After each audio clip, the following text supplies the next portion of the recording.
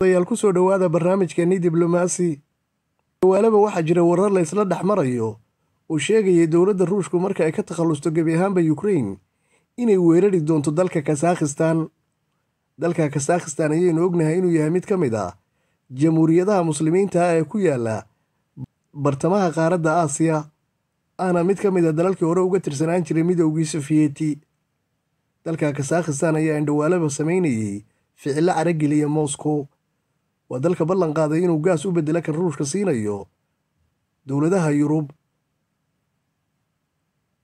Sidoo kalena dalkaasi waxa uu si buuxda u taageeray dalka yukrain intii ruushku ka waday dagaalka.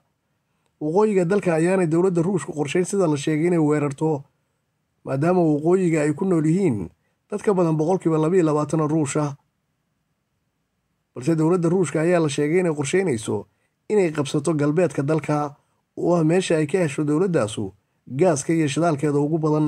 Dowladaha ku yaalla bartamaha qaaradda aasiya ayaan weligoodba ka hor iman. Dowladda ruushka.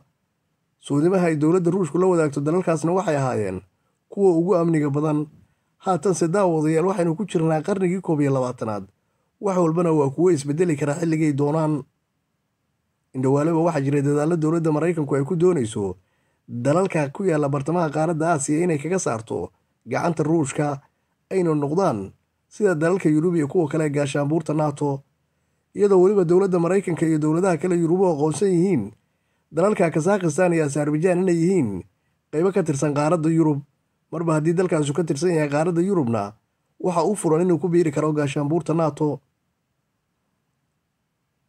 Balse xoga sira aynu helayna ayaa sheegaya dowladda ruushku durbadiiba inay arrintan qorshe u samaysay aysana marka ay ka soo jeensato dagaalka dalka yukrain inay ku bilaabi doonto dalka kasakhistan lana wareegi doonto gebi ahaanba galladiisa.